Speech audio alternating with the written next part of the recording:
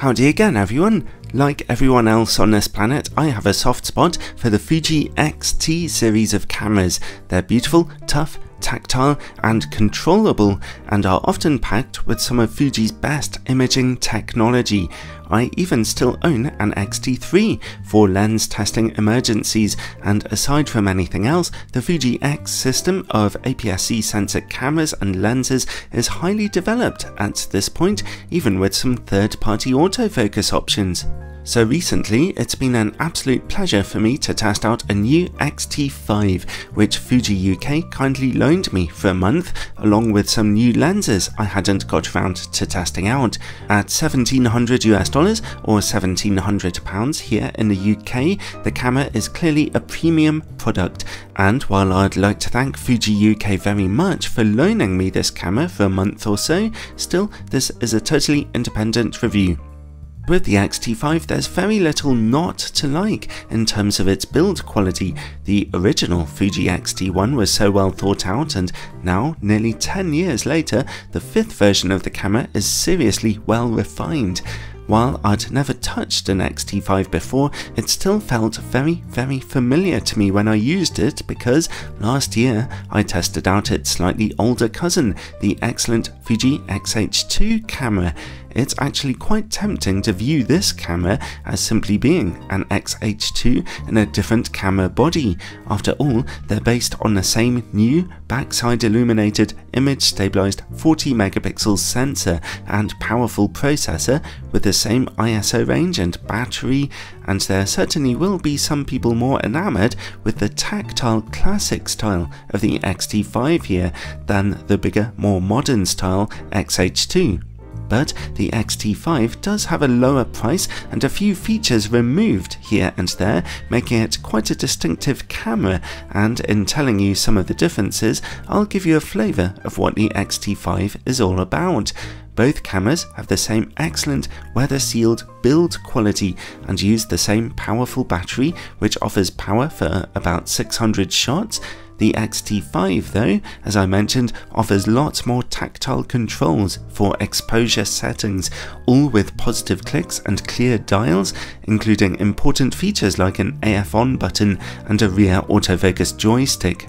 The viewfinder of the X-T5 is 3.69 million dots lower resolution than the 5.76 million of the XH2 but still way more than enough for virtually anybody and it remains nice and big to look through. The screen of the X-T5 flips up and down, whereas on the XH2 it's fully articulated. I prefer a flipping screen for stills photography as it's so quick to use, but an articulating screen is much more flexible and useful for video work. That screen on the X-T5 is also very high resolution, 1.84 million dots, a little better than the XH2 and nice and bright as well. The maximum burst rate of the X-T5 is a fast 15 frames per second in mechanical shutter mode and 20 in electronic shutter mode, just like the XH2, but the XH2 has a bigger buffer, so it can go on shooting for quite a bit longer. The mechanical shutter's durability of the XH5 is rated at a massive half a million actuations, meaning you'll have to do a lot of shooting before wearing that thing out. The two cameras have almost the same video specification, including 10-bit 422 footage and downsampled high-quality 4K, except that the X-T5 cannot shoot 8K footage, only 6.2K, although that's still plenty for most people. Oh, and the X-T5 loses out on one or two options like Apple ProRes recording and RAW recording. Both cameras have two card slots, which is very reassuring for professionals with UHS 2 SD cards, although on the XH2, one of those card slots is the faster CF Express Type B kind. The HDMI connector on the X-T5 is only the tiny micro HDMI instead of full-size HDMI, which does make it feel a bit less secure to use. The X-T5 is also a little smaller and about 100 grams lighter than the XH2 and certainly feels less bulky and heavy in your hand.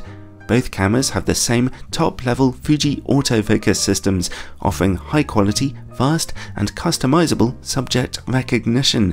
I did quite a lot of bird shooting with the X-T5 and found it to be just as good as the X-H2. Its autofocus system isn't quite as confident and reliable as the latest Sony and Canon cameras or the Nikon Z8 or Z9 in my opinion, but it's nearly there and no matter what you're shooting, you're going to get loads of keepers. I found the autofocus worked far better once you'd manually chosen what subject you wanted it to track. Like the XH2, the X-T5 offers in-body stabilization. Considering how good Fuji's stabilization systems have always been, even before they were making X-mount cameras, I wasn't surprised to discover it holding my images very steady, whether in stills or video mode, another great feature, particularly as Fuji are famous for their excellent prime lenses, most of which are not optically stabilized. I found the X-T5 sitting in my hand a bit more comfortably also. To my mind, the X-T5 really does have wonderful build quality and my only gripe would be that an articulating screen would have been so much better for video work and some kind of still photography also. Okay, let's look at what kind of image quality that 40 megapixel sensor can give us. I took these test pictures with the new Fuji XF 30mm macro lens with the aperture stopped down to f4 which is more than sharp enough to fulfill this camera's 40 megapixel sensor, well in the middle of its images anyway. Let's take a look at the raw image quality first, up against JPEG, and the base ISO is 125 here, which is nicely lower than older Fuji cameras. The raw image is showing tons of fine detail, as you'd expect from a 40 megapixel sensor. The JPEG image looks good, but a little over sharpened, leading to a smudging of fine details, I think, which is visible on a rock face in this picture. The JPEG still looks very good, but I've been getting increasingly concerned by over sharpening on Fuji JPEG engines, and this was with sharpening set to zero. Still, the image is looking pretty great. Let's see how the camera copes at higher ISO levels now. In the top left, you see ISO 125, the base ISO. Below that, ISO 400 is virtually as good, ISO 800 begins to see just a touch of noise, but nothing serious. However, ISO 1600 is beginning to see quite noticeable noise, with colours and contrast and fine detail all beginning to suffer. Let's push that ISO even higher, where unfortunately we see further deterioration with 3200 looking really quite rough, and shooting at 12800 would only be an act of desperation. So the X-T5 offers plenty of detail in its images, as you'd expect from a 40 megapixel sensor, but high ISO levels yield noisy images, a little worse than on my Canon EOS R7 I'd say, although that Canon camera only has a 32.5 megapixel sensor, so it seems like quite an even trade-off between resolution and noise there. The X-T5 also includes a 20 shot pixel shift shooting mode to give you 160 megapixel images stitched together by your sensor and if you'd like to know how well that worked for me then check out my review of the Fuji X-H2. I did a whole feature about it and it works exactly the same on the X-T5. Alright, let's move on and take a look at video quality, with the camera offering a number of video shooting modes, including 6.2K, oversampled 4K with all I and log modes also. Well, let's start with the regular quality 4K, which gathers an image from the whole width of the camera's sensor, at base ISO, we're getting a decent amount of detail in here. ISO 800 and particularly 1600 are getting a bit grainy, and we're seeing some false colour creeping in there also. ISO 3200 is looking rough, and 6400 and 12800 look really quite dreadful here. By the way, I tested the 4K 60p mode and the picture quality looked the same as this. So let's try 4K in high quality mode. This crops your footage in by 1.23 times. This footage certainly does look a little cleaner and sharper and there's less noise at the higher ISOs here too. However, ISO 3200 and beyond are still looking particularly troublesome, but at least we're not getting the same amount of false colour here. Finally, let's check out 6.2K. Unsurprisingly, we're seeing loads of lovely fine detail here, and pleasingly, up to ISO 1600, that noise is mostly under control also. Once again, as before, stopping down to ISO 3200 or beyond leads to a rapid deterioration of image quality, as you can see here.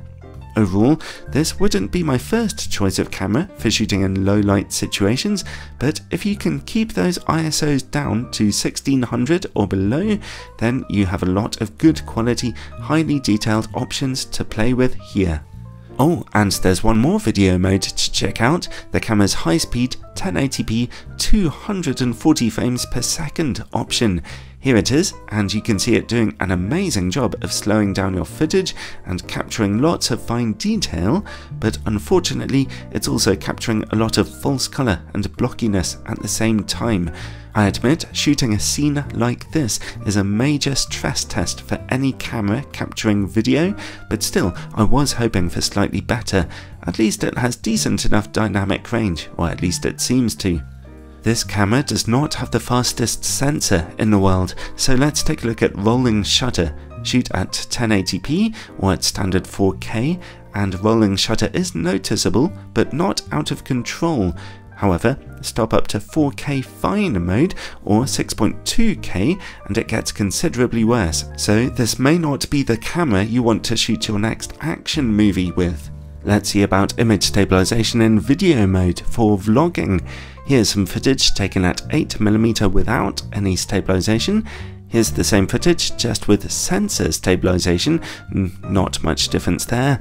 And here's some footage with sensor and digital stabilization, and well, things are still looking pretty bumpy, I'm afraid, although that digital stabilization will still be useful for more genteel shooting, although it won't work when shooting in 4K high quality mode. Well, those are some of the key specs and features of the Fuji X-T5. I haven't even touched upon those lovely Fuji film simulations, offering endless exploration, HEIF support, as well as practical things like wireless control from a computer and flicker reduction, Alongside the camera's wonderful build quality and image stabilization, it all adds up to a generous package for your money, making a wonderful user experience and overall, I absolutely loved my time working with it. Admittedly, it's a camera with a few niggles, and they tend to be in areas where a more expensive premium full frame camera would take the advantage. I would have preferred less aggressive sharpening on JPEGs out of the camera, and the trade-off for its dense 40 megapixel sensor comes in noisier image and video quality at higher ISO levels, so this won't be a good camera for shooting video in dark situations, or for stills photography at very high shutter speeds for a long period of time. You should also bear in mind that this sensor will need very sharp camera lenses in order to realistically resolve 40 megapixels in the first place. Thankfully, Fuji's newer prime lenses seem to be up to the challenge, but they will set you back a lot more money. But still, the X-T5 neatly combines great power with a seriously enjoyable user experience. With the right lens attached to its 40 megapixel sensor, its images really burst with a detail that reminds you of shooting full frame, and its build quality and features are as enjoyable and tactile as ever. Get some beautiful lenses and you'll be absolutely laughing, so this camera comes, unsurprisingly, highly recommended.